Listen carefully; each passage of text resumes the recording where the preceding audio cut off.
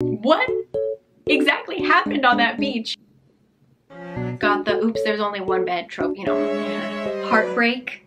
So much heartbreak. Okay, hi guys. So this video is going to be really long. I can already tell you that. Um, I'm going to be talking about a ton of books today. Initially, when I was thinking about this video, I was thinking I'm going to make a time limit where I can only talk about the plot for 30 seconds or 60 seconds or whatever. And that just made me really anxious even thinking about it. I didn't want you guys to feel anxious watching it. So I hope that this is just a chill video. You can put me on in the background, maybe clean up your room a little bit, get some snacks, do some stretching maybe. We're just going to talk about YA slash new adult fantasy. I am not going to be talking about these books because I have only read one book in the series, but I can tell you that I really, really enjoyed some of these books. All of these, I encourage you to read. I'm just simply not talking about them because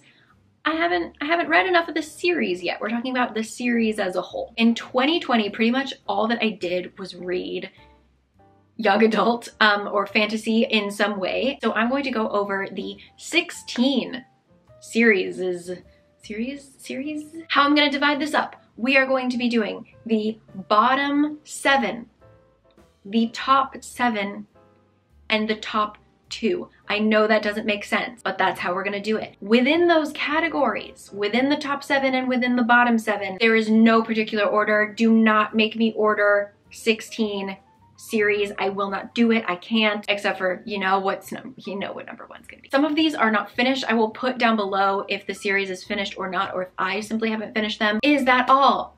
Yes, um, these are gonna be pretty much no spoiler. Longest intro ever let's jump in. Okay, starting off with the bottom seven, and I actually, as I'm looking at this now, I realize that the very first series I'm gonna talk about isn't a fantasy. I don't know why it's on this list. I don't know why I thought that it was a fantasy, but it is actually just a young adult series. There's no magic in this, but I'm still gonna talk about it because I already wrote it down and I have you here, so let's talk about it. I read the selection. And this is a finished series, but I actually only read three of the two because the final two books actually have a big time jump and you're following sort of the next generation. And I wasn't interested in reliving the selection again. And I'm not saying the selection is a bad book. I'm just saying wasn't ready to go down that road again. The selection is often compared to The Bachelorette or The Bachelor because it takes place in very far in the future in the United States after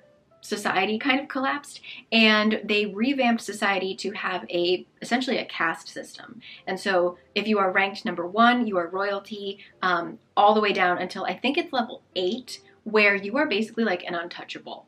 Um, you are you can't even get work. You aren't even good enough to be like a servant. Our main girl america is ranked number five. So they're still pretty low. Um, they're really struggling and her family are technically in the artist class. So she is a musician and a singer. The prince, once he becomes marrying age, he basically has like the bachelorette happen or the bachelor i don't I, I, don't watch this show so i don't know which one it is he just takes a bunch of eligible young ladies like he takes all their pictures and then he picks them out and he gets a group of them to come to his palace and live there until he picks a bride and that's what his dad and mom did that's what he's gonna do. And of course, America gets picked. The thing about this book is that it was just really easy. Like I could tell what was gonna happen and all of the crisis moments, you knew how it was gonna be resolved and you knew that it was gonna be resolved quickly and cleanly. And it really was. Like, it was just a book that I wasn't worried for any of the characters at any point. I was just like, yep, it's all gonna work out in the end. If that plot interests you, I would recommend that you read it. It was fun, you know, whatever. That's what it is. Um, it's I'm not usually really into that, so I wasn't super enthused by it, but it wasn't like a bad book at all, and it's not a fantasy, so let's move on because I can't understand why I put that on my list. Past Cari is a mess. The first actual YA slash new adult fantasy that I read is The Serpent and Dove and the sequel Blood and Honey and this is an unfinished series. There will be a third, I don't know how many there will be, but unfinished. And this takes place in a French speaking place where there are witches and there are normal people. And within the normal people, there is a class called chasseurs who are kind of like warrior priests. They're very conservative, very religious. They're kind of like monks. They are celibate, they can't get married, etc. The head dude is like a bishop, I think. Of course, our main girl is a witch, kind of undercover. She keeps it on the down low.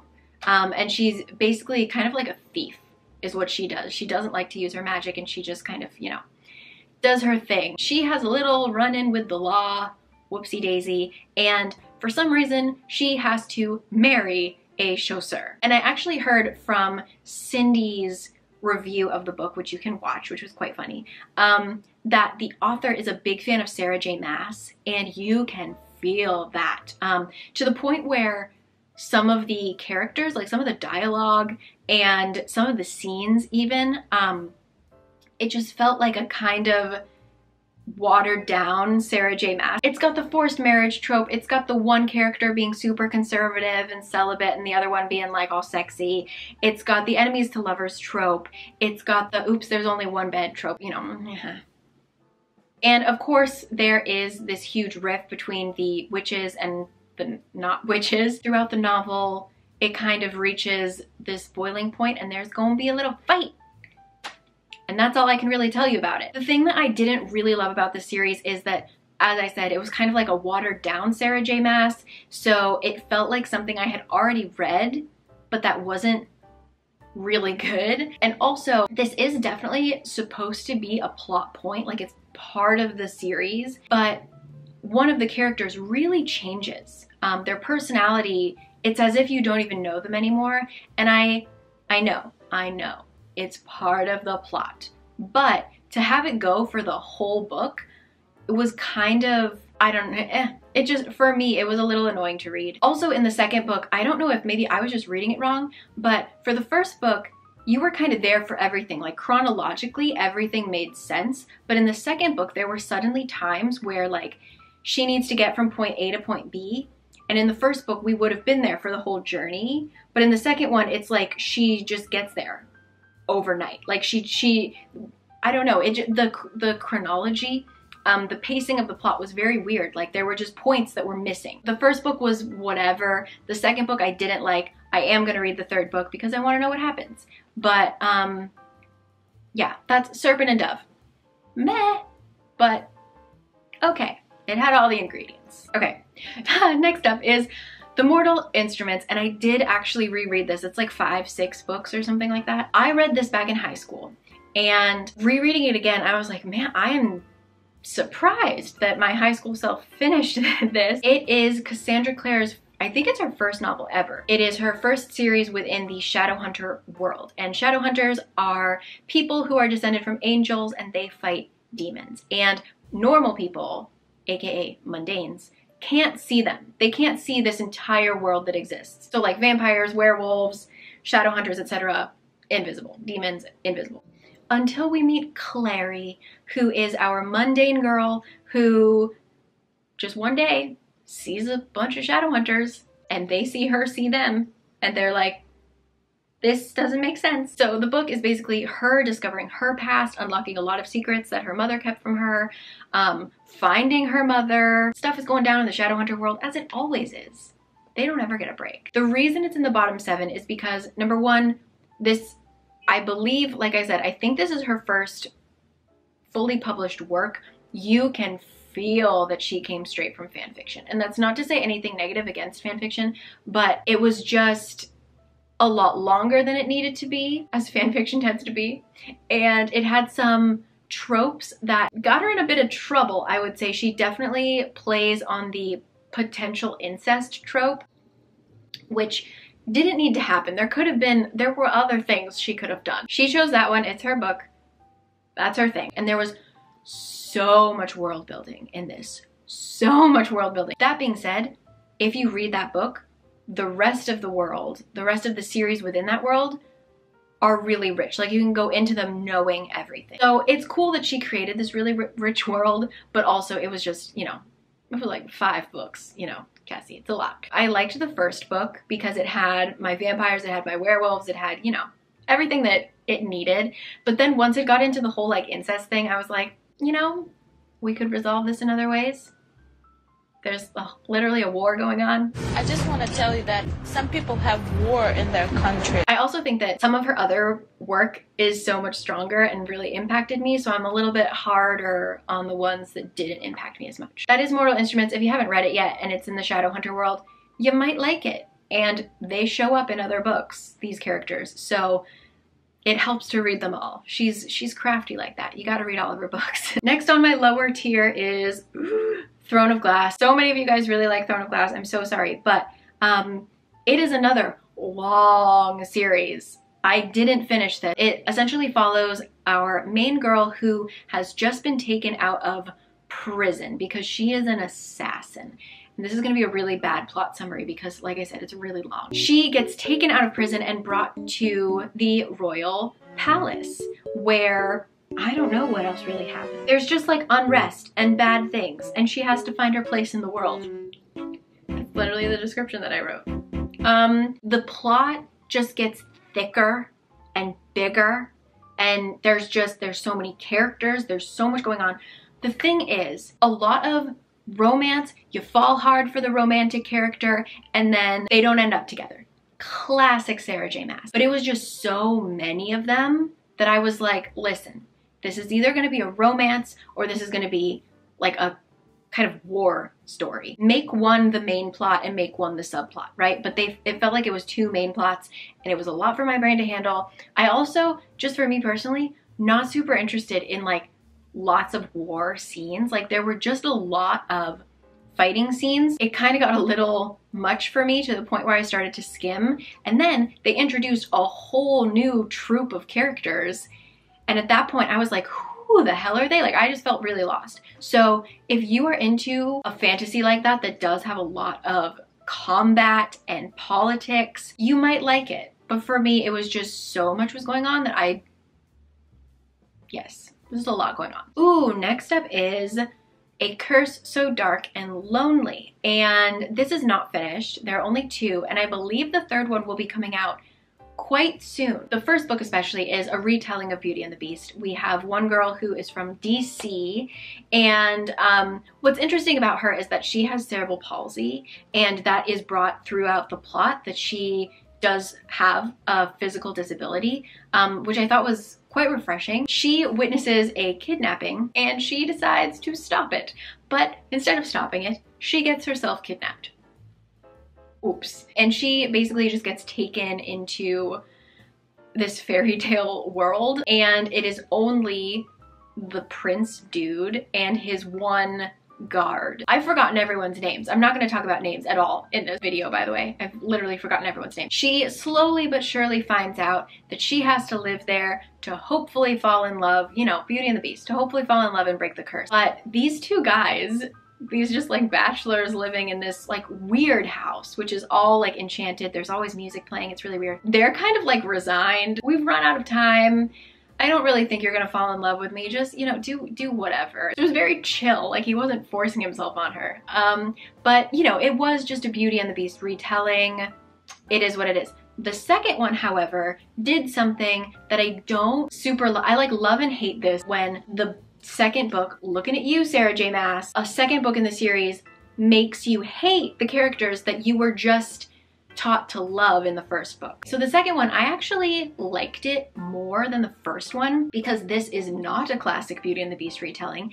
It actually follows a different character and I liked that character a lot more. So um, if you didn't like the first one, I would implore you to try the second one out if you can get through a Beauty and the Beast retelling. I know a lot of people don't like that. But I thought it was pretty refreshing. It's interesting that it has the connection between the real modern world and a fairy tale world, um, especially because there's a character that's a doctor and he's like, what what's going on, like modern medicine, where is it? And I'm definitely excited to read the third one. But um, yeah, it was it was one of those things where I definitely like the second one more.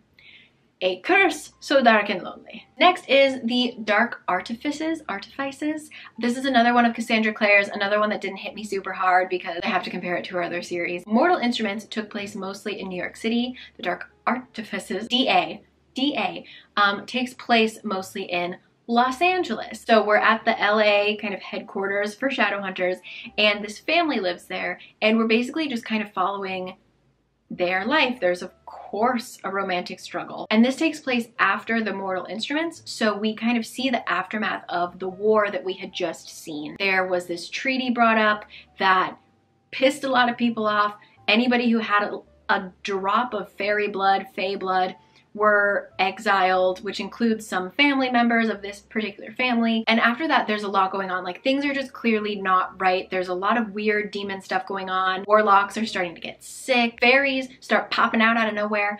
Um, like the hunt people just start coming out. There's just a lot of stuff that they need to deal with. It was fine. It was very classic Cassie Clare. The characters, the banter, it was fun. I liked a lot of the characters. Um, she does a very interesting job of representing different kinds of people. Um, there were a couple characters that were definitely on the autistic spectrum. There were people who were of many different sexualities. She even has like the possibility of a poly relationship, stuff like that. Love her or hate her, she gives it a grand old try. And um, there is, however, I swear to God, I was thinking about making an entire separate video about this one scene which I'm not gonna go into right now, but there is like, there, mm, Cassie, there is just one scene that takes place on a beach, a romantic scene on a beach, and it had me laughing out loud because it was supposed to be really romantic and I was just like howling because she was trying to be vague about certain things that were happening to the point where it was too vague. And I was like, what exactly happened on that beach? And there was just things that don't match up. And it's so funny. If you know the scene that I'm talking about, I swear to God, I'm gonna make a whole separate video, like just doing a dramatic reading of it because it doesn't make any sense. And it is so funny. And yeah, um, you know, it was just a good time. There are vampires that own a pizzeria. It's just, you know, stuff like that. It's interesting. It just didn't hit me as hard as the series that you're all waiting for me to talk about, which will be coming later. If you liked people from her other series, um, a lot of people are in this. Your faves will probably make a little cameo. And last in my bottom seven is Vicious, or the Villains series, I believe it is called. Um, this is by V.E. Schwab. I believe it's only a duology. I don't know if she will continue it, but it takes place at a university where two best friends are really obsessed with this idea of EOs, I believe they're called, like extraordinary, I think. I should have looked this up before. Anyway, there are these people that have powers, sort of like X-Men. They do a bunch of experiments and try to figure out how to get powers of their own. And no spoilers, when they succeed, the two of them end up splitting kind of as far apart as possible when it comes to what you should do with these powers. Um, one is rather religious. He's kind of like a born again kind of person. So he's very obsessed with God and morality and all this stuff. And then the other one is kind of like, not.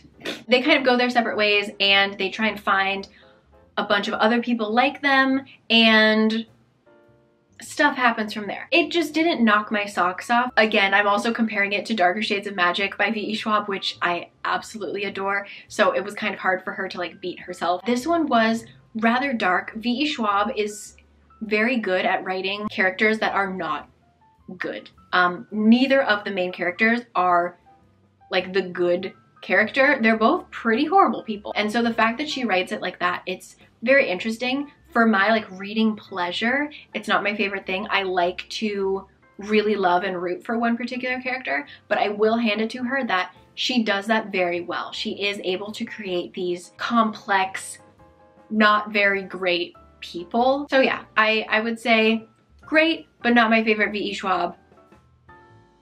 Vicious. Okay, now for my top seven. First is the Daevabad trilogy. It is finally finished. I remember loving City of Brass. I really did love City of Brass.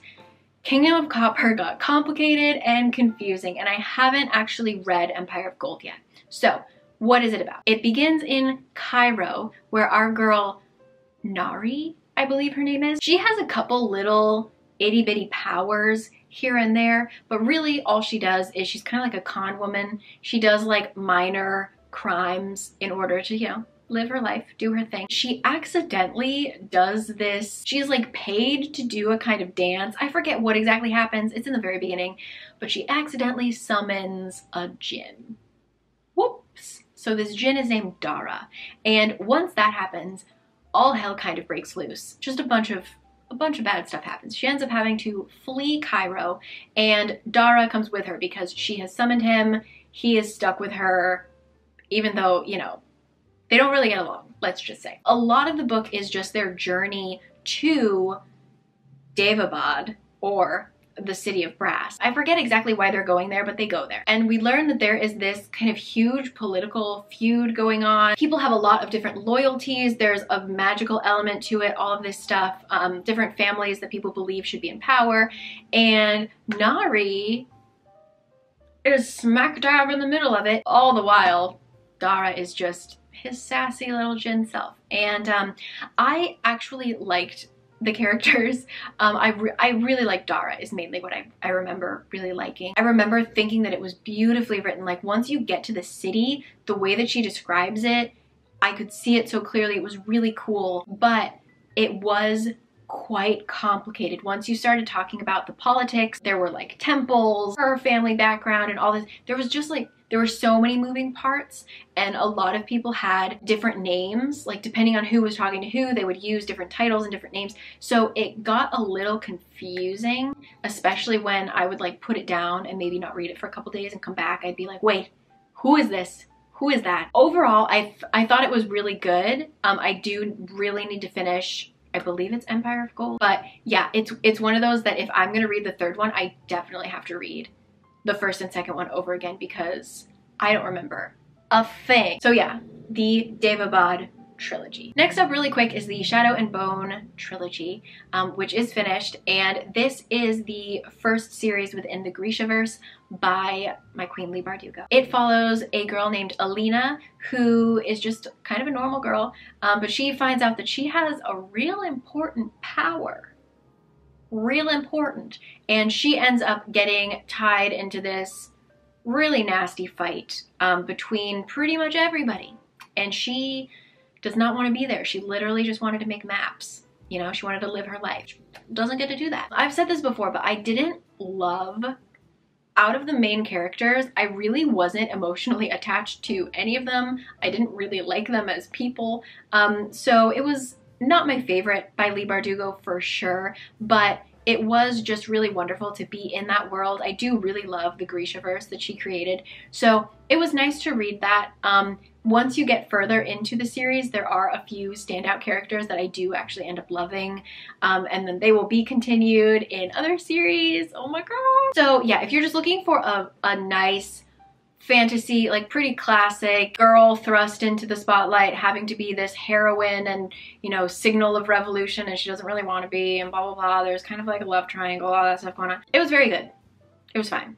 Um, just doesn't ever live up to another work by Leigh Bardugo. So, Shadow and Bone. Next up, yes, it did make the top seven. Wouldn't you know it? Me and this series, we have such a weird relationship. Um, The Cruel Prince by Holly Black. Here's the thing. Here's the thing, guys. No, I have not read the latest book. Um, there's actually, just came out very recently, I believe, a prequel where we get to read the childhood stories of the main male character, Cardan. And here's the thing about Cardan. I hate him in the first book. oh my gosh. Um, I hate him in the first book, but I, I actually recently kind of reread it I read the second and third one.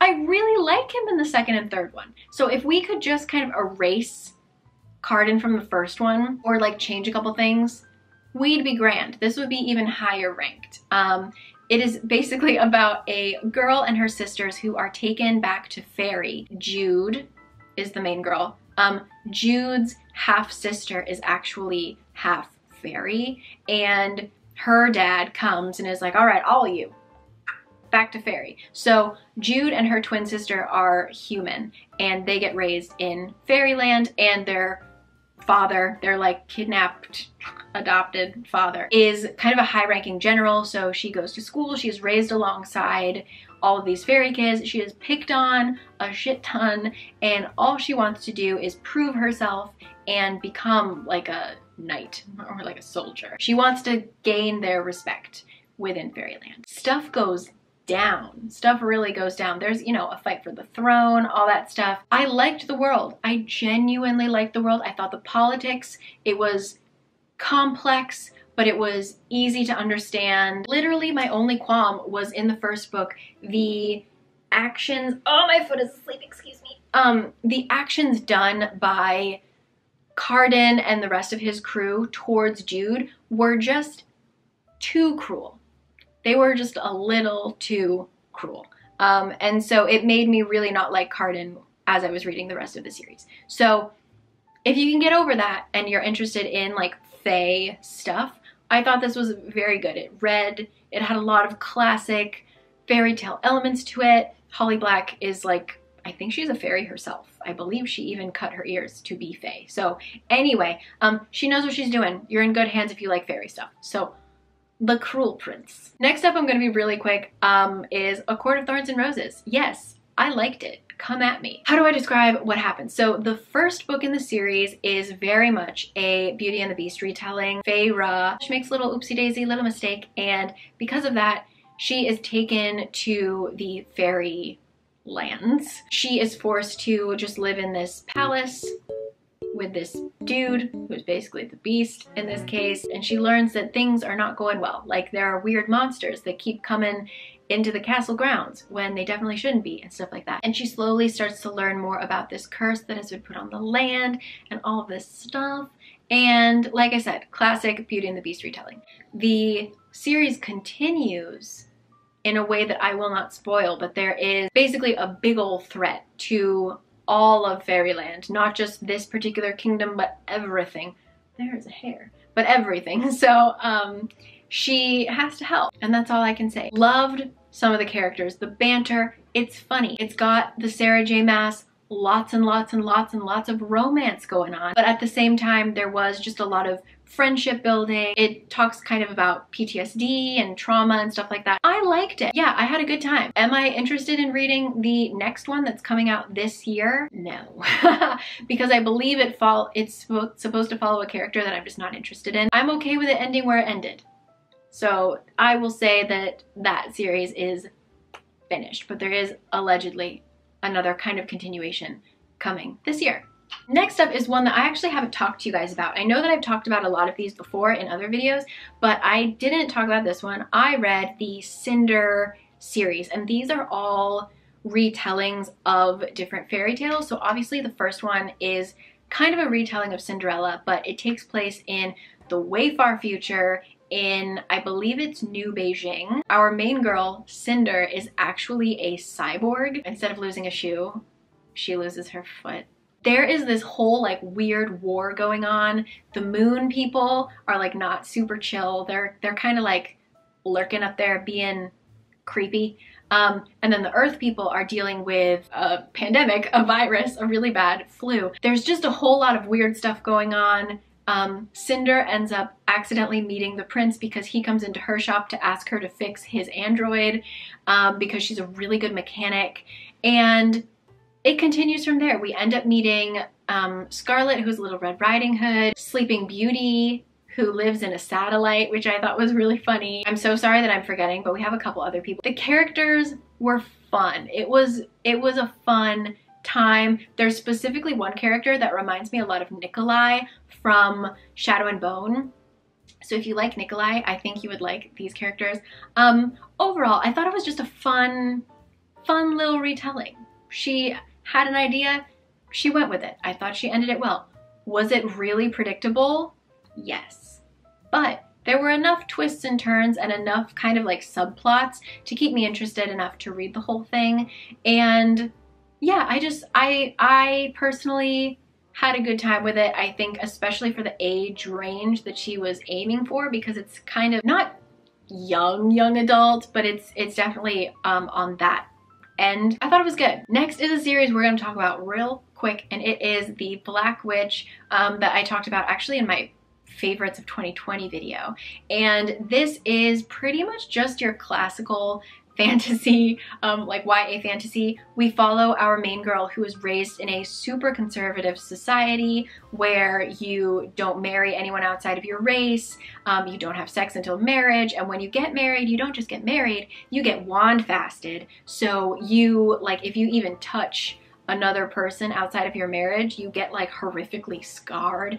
I mean, it's really conservative and straight up racist. And her family is really into politics. Her her aunt is a really big player in politics and she comes to the farm where Elle, Ren, Rel, Ray, what's her name? Anyway, where our main girl is living with her uncle and her brothers, very secluded. And her aunt is like, hey girl, it's about time that you get wand fasted. And her uncle is like, no, she has to go to school. Her uncle basically saves her from being married very young and she has to go to university. And through that, she meets all of these people that she has been told are, you know, dirty or dangerous. So a lot of the book is actually her overcoming a lot of the prejudices that she was raised with, which I thought was pretty refreshing. I do think she was forgiven rather quickly. She had to like actually listen and she had to actually learn. Like I think that once people saw that she was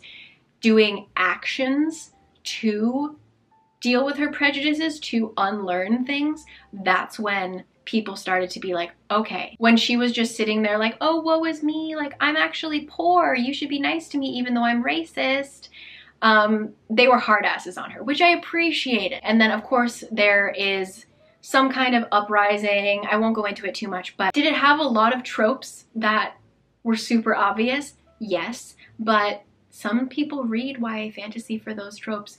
There is a love triangle. I'm just gonna tell it right here. The third book literally was written only to create a really horrific love triangle and I am pissed and I need to know what happens and we still have two more books to go. Hi friends, I'm editing this and I just found out that this is actually only going to be four books, so we only have one more book left. I don't know if she changed her mind or what happened exactly. I thought there were supposed to be five books, but now there are her two novellas, which I haven't read, and there's only one book left, which is supposedly coming out this year. And I would like it to end because I literally just can't stop thinking about who's gonna die? Because I've said it before, but I need one of them to die because we're not doing one of these things where one of them lives sadly and alone. No, one of them needs like a heroic fiery death. That's all I will, all I will accept. And finally, in my top seven is Ember in the Ashes, which I've talked about a lot. Um, it takes place in a society that is loosely based off of ancient Rome, apparently. There are a bunch of different kinds of people, and mainly we learn about the Martials who are malicious and they have taken control of the kingdom, and anyone who isn't a Martial had better just like keep their heads down, shut up, or they will get in big old trouble. They will get put in jail or just straight up killed, etc. And then there are the scholars who kind of used to be in power and now they're basically either have to just be like shut up, keep your head down, or they are part of the resistance. And our main girl, of course, ends up being a part of the resistance, not because she necessarily wants to make a big change, but just because she wants to help her family. Part of her job is to go be a spy at the school for Martials. Then our main boy is a Martial who actually doesn't want to be a Martial, but he's from a really influential family and so he kind of has to be. So they end up kind of bonding, helping each other out. And I can't say much more without spoiling it, but it takes place across the entire world. There's a lot of running around. There's a lot of just really interesting things that happen. But I read the last book and let me tell you, I didn't like how it ended. And that's why it's not in my top two. I forget which video I talked about it in, but I mentioned that the author had written herself into a plot corner and I just didn't know how she was gonna get out of this corner. There's something that happens to a character and I'm like, they better resolve this. Like, this is not how it ends. She's gotta fix this. And unless I read the ending wrong, because honest to God, the ending was vague and I was confused. So correct me if I'm wrong, but there is a thing that I wanted resolved that just wasn't resolved. And there is no more series, so that's the end of it. I'm just gonna have to live with this. I really loved a lot of the characters. I loved the imagery. There was like an afterlife, there were jinns, there were all these different things that happened. Um, so it was really rich, but the way that it ended was not as strong as it began. So it just kind of felt like a letdown. I would have loved a really strong ending, even if it broke my heart. She just kind of left it so open and so unresolved that I was just like,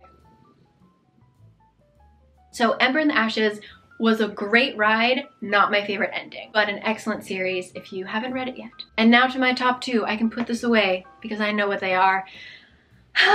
Let's talk about it. All right. Mm -hmm. The reason why the other Cassandra Clares were ranked so low is because we're going to talk about the Infernal Devices series. Yes, I believe there's three. And it takes place in kind of Victorian London. Because of that, a lot of the imagery and a lot of even the magic is tied to, it's almost like steampunk ish. The whole idea of like clockwork. It's a lot of small machinery um, and stuff like that. It, it, I just thought it was quite cool, a very interesting take on it.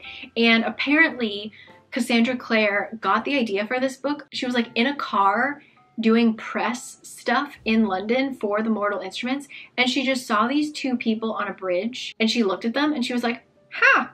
And then poof, the story came to her. So I just think it's also very romantic how the story even popped into her brain. So I give it extra points just for that, for its genesis moment. It takes place in the Shadowhunter world that I already talked about, and it follows a girl named Tessa who has this weird family thing going on, and she ends up having to live in this horrifying house. There's just a bunch of stuff that goes down there and she ends up getting rescued by these shadow hunters and she is taken to their headquarters to kind of be safe until they figure out what the hell is going on because not only was her house creepy as hell, but it was also literally demonic, which is what the shadow hunters love. So they were like, we'll deal with this. Of course we'll take care of the demons for you. We love doing that. She stays there and kind of forms a friendship with all the people in the house.